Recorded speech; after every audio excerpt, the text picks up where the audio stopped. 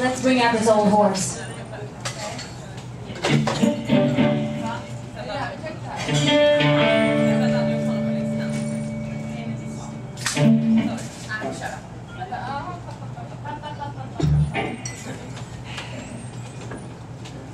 You guys ready?